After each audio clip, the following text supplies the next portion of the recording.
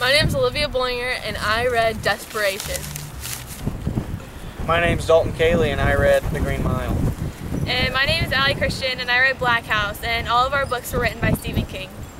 Stephen King started his writing career in 1967 with the book Carrie, which was published in 1974. In most of his books, he writes so the reader can connect to a specific innocent character.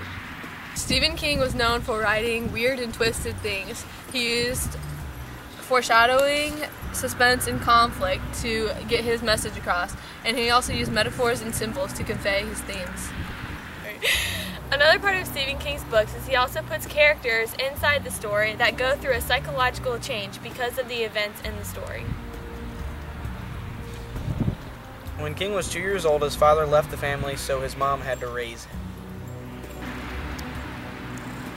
As a child, King witnessed one of his friends being struck and killed by a train.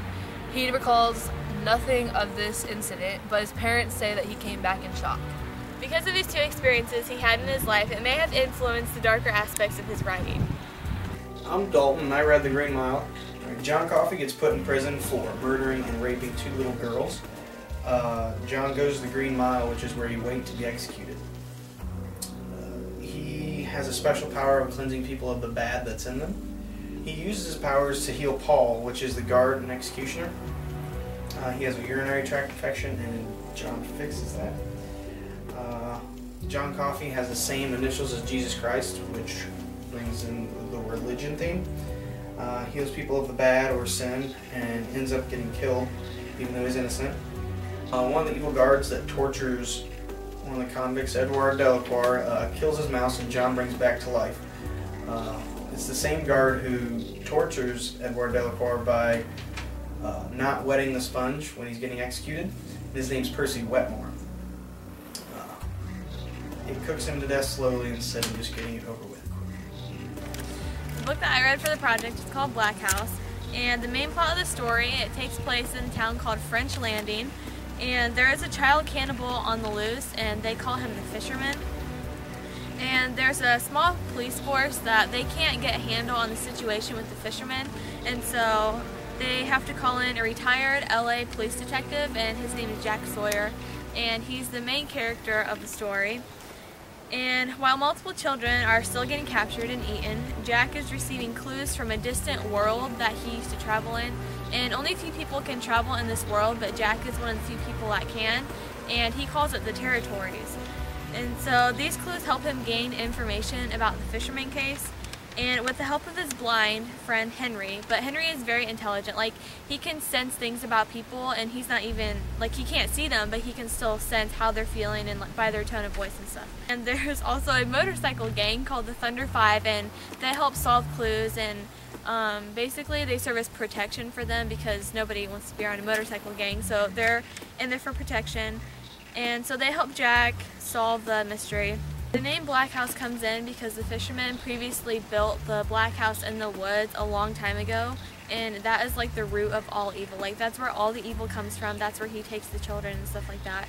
And so Jack and the motorcycle gang and Henry and the police, they have to go to Black House and save another child called Tyler Marshall who is taken there. Well, Tyler is actually a special character in the book because um, in the territories there's a man named Mr. Munshun and he's kind of like the evil character in all of this. And Tyler is important to him, and so they're trying to save Tyler before the fisherman actually kills him. And so, um, pretty much the book is just them trying to save Tyler, but it's definitely exciting. It will keep you on your toes throughout the whole book. Alright, the themes in my book are death, and also there is supernatural events involved and also the idea of people coming together against overwhelming odds to defeat like the evil I guess in my book. And um, there's a lot of dying in my book and death and people are sad but in the end there's always lessons that are learned from dying. And also the supernatural is involved because the fisherman has Black House and Black House is kind of like paranormal magic like an evil house and supernatural. And that also goes along with the territories like that's a different world. And so you know of course that's supernatural when the fisherman goes there Alright, so anyway, the last thing in my book, how people come together, Jack, the police force, the Thunder Five, and like all of Tyler's family and friends, they have to come together and defeat Black House, which like seems overwhelming to start with, but because they're all working together, they're able to go through Black House and like defeat Mr. Munchkin so they can save Tyler in the end. My book Desperation was written by Stephen King and it's a horror novel about groups of travelers who are going through an old town desperation. And when they're going through desperation, they meet a police officer, Collie, who was taken over by an evil spirit Tak. The book has a theme evil versus good, evil being the evil spirit Tak, and good being two of the tourists one, David Carver, a young boy who is God loving, and another being Johnny, an old writer who is trying to find his place in the world. The Tak takes over bodies not only so that way he has a place to go, but also so that way he can kill people. And the group of travelers are trying to escape Tak throughout the book, but they are also being given signals through from God through David. David was given powers by God, and he was being told through God basically that they were not supposed to leave the town and that they were supposed to fight off this Tak and put him back to his resting place. Most of the group that was with David, including his dad, kind of thought that David wanted to stay in desperation just so that way they could maybe rescue his mom because David's mom was actually taken by Tak. But then some of them also were believing that David was being sent signs from God. One of the people, Johnny, the other good one, was having a hard time believing that they were supposed to stay. Johnny had his faith brought back to him through David. The themes in this book were good versus evil, supernatural, religion, and death. The death theme was evident in this book when Collie and the other people who were taken over by Tak began killing things and people. Religion is seen in the book when David Carver is given God's powers and signs through God. The good versus evil theme is shown throughout the whole entire book when the good people, the good travelers, are trying to fight off Tak, which is the evil. And the supernatural theme is when we are told about Tak, who is a spirit who has come up from another dimension. Stephen King's books are still relevant today because he's still writing books and people still enjoy a scary read by him. Stephen King's books are sometimes also written in modern day perspective, and so that makes it interesting for read- readers too. Ah!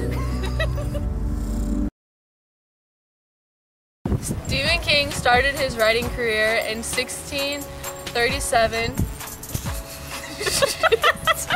1637. Jeez.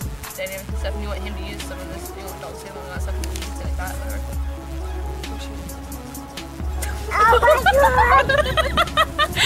Oh like, I mean, Is it like zoomed in really close and like you're just looking at my You nose? can like see right here. he's known for like writing weird, weird and twisted things, and he used metaphors. he used metaphors and symbols to convey the theme. Like, go say, 'cause if- Hi, I'm Paul.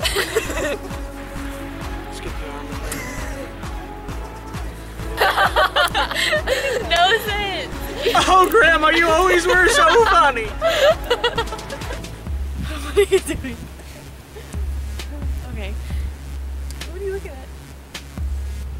Allie, right there.